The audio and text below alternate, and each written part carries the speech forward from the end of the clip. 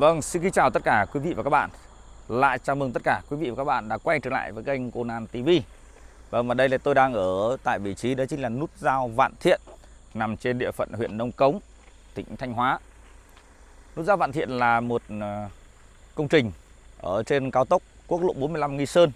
Nó thuộc gói thầu XL2 do liên danh bao gồm ba nhà thầu là tôi nhớ không nhầm là Lizen 471 và Định An liên danh ba nhà thầu thực hiện và Định An cũng là một trong à, ba nhà thầu được ừ, được à, được Bộ Giao thông cảnh báo về tiến độ trong quá trình thi công. Chúng ta có thể thấy là nút giao Vạn Thiện hiện nay nó cũng chưa được hoàn thành. Nó thậm, thậm chí là theo tôi nói mà nói cái từ cơ bản hoàn thành nó khá là nhạy cảm các bạn ạ. Cơ bản là như thế nào? Cơ bản là nó hoàn thành hay chưa thì chắc chắn là nói khi mà Việt Nam ta dùng đến cái từ cơ bản hoàn thành là chắc chắn là nó chưa hoàn thành. Nhưng mà nó hoàn thành nó chưa hoàn thành ở mức độ nào thôi có thể thông xe, có thể đi lại được hay chưa? Đấy, người dân có thể dễ dàng nhận biết cái hướng đi hay chưa? Hay là cái phương án tổ chức giao thông trong quá trình thi công có thể thực hiện được ở mức độ như thế nào? Thì tôi thấy là ở nút vạn thiện này nó cũng chưa chưa được, nếu mà theo tôi đánh giá là chưa được ổn lắm, chưa được ổn lắm các bạn ạ. Cây cầu vượt thì, tại thời điểm tôi đang à, ghi hình đây thì cũng chưa lắp đặt xong cái lan can. Thì đương nhiên rồi, chưa lắp đặt xong lan can thì à, giải phân cách chưa? Bây giờ mặt cầu chưa? Nó có khá nhiều. Nói tóm lại là cầu nó cũng được gọi là chưa thông được. Cái cầu vượt qua nút giao mà chưa thông được thì nút giao đó được gọi là chưa chưa cơ bản chưa hoàn thành. Đấy, nó ngắn gọn nói nói theo cái từ cơ bản là như thế. Ừ. cho nên là các bạn quên cái tư tưởng quên cái tư duy là có thể lên xuống nông cống ở tại cái nút giao vạn thiện đi nhá thì có lẽ là cái vị trí này à, sẽ phải hẹn vào dịp 31 tháng 12 rồi. Không thể kịp rồi các bạn ạ. Và bây giờ chúng ta tiếp tục ờ, ngắm nhìn cái nút hoàn Thiện ở từ góc nhìn flycam.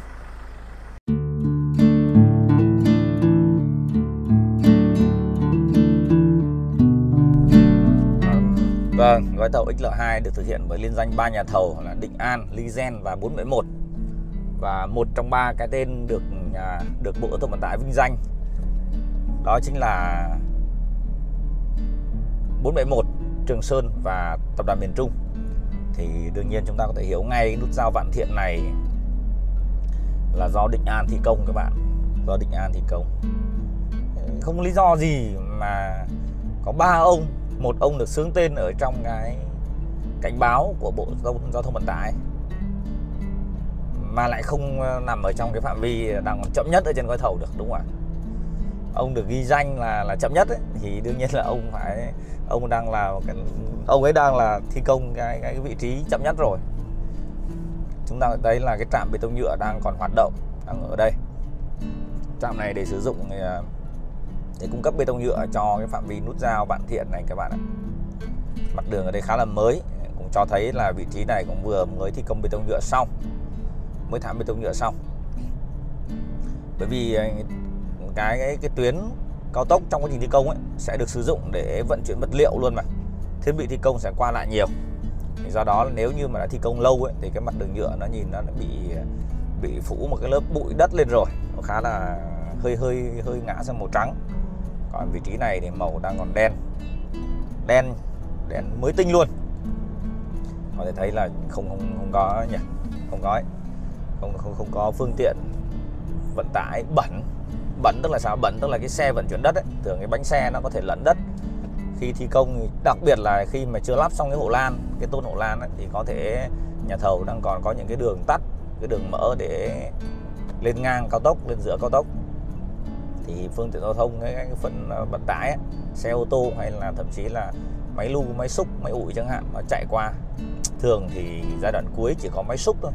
Và máy xúc đó là máy xúc lốp bánh lốp thôi nhá sẽ qua lại trên tuyến để hoàn thiện những cái hạng mục cuối cùng như là lắp đặt hỗ trợ lắp đặt này vuốt máy ta luy đấy vân vân. Thế còn đi bánh xích lên mặt nhựa nó sẽ hỏng các bạn. Cái đó là chỉ còn bánh lốp.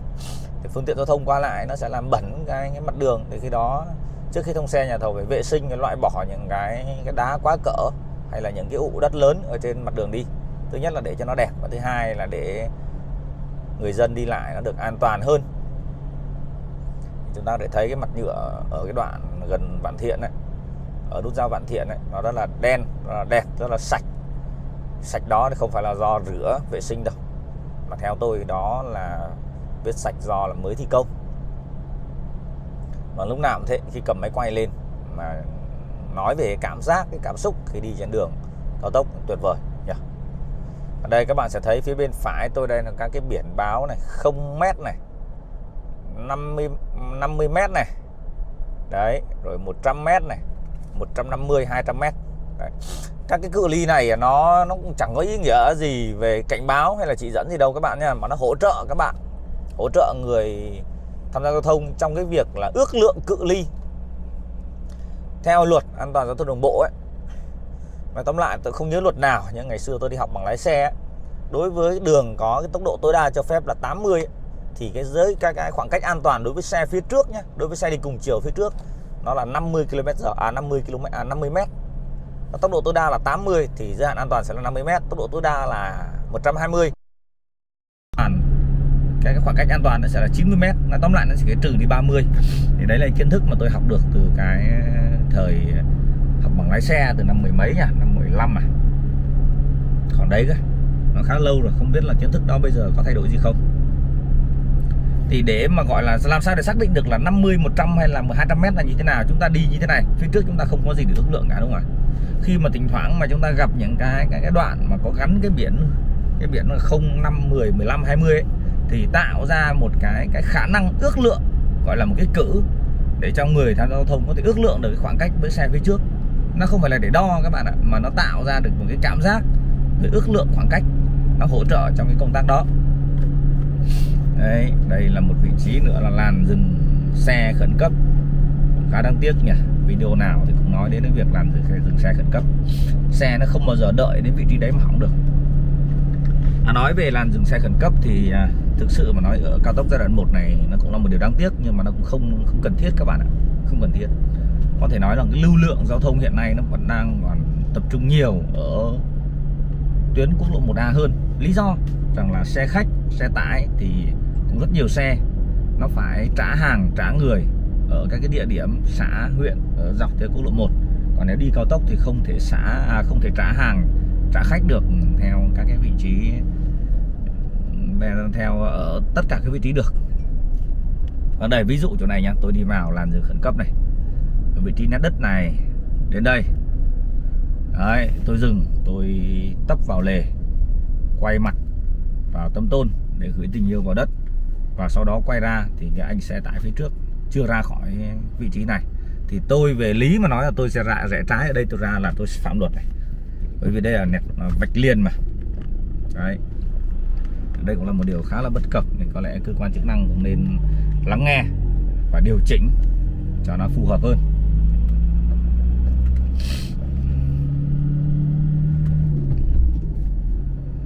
Cảm giác tuyệt vời, các bạn nhé trở về với với cái lưu lượng lưu lượng giao thông.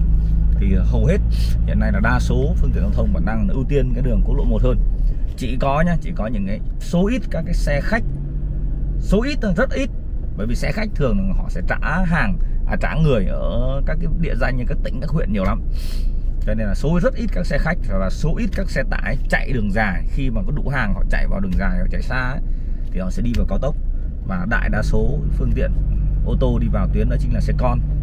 Xe con của người dân thì không có nhu cầu trả hàng, trả khách gì cả họ chỉ điểm đến và điểm đi thôi. Điểm đi và điểm đến điểm đến, điểm đi thế thôi.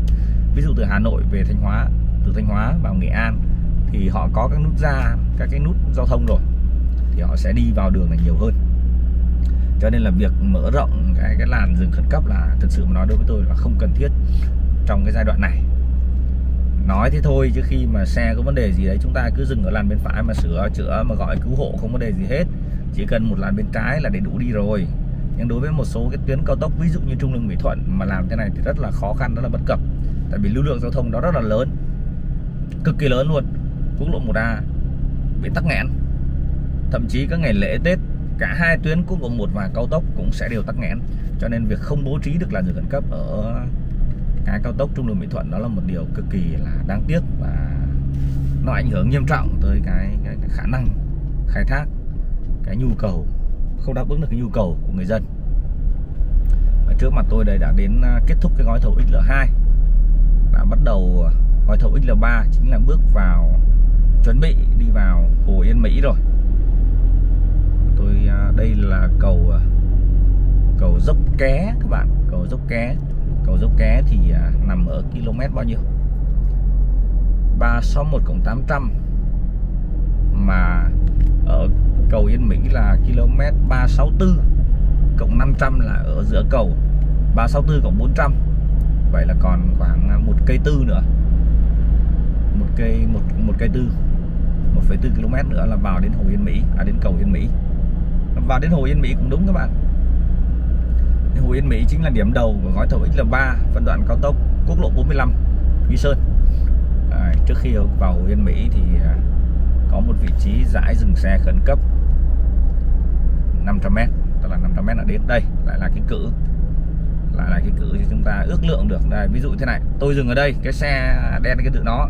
Vậy là đủ biết là khoảng cách của tôi và cái xe nó đang nằm ở trên trên 60m chắc chắn là trên 60m đấy thì nó đảm bảo an toàn rồi. Khi đó tôi chỉ cần giữ được cái cự ly khoảng cách này với xe phía trước thôi.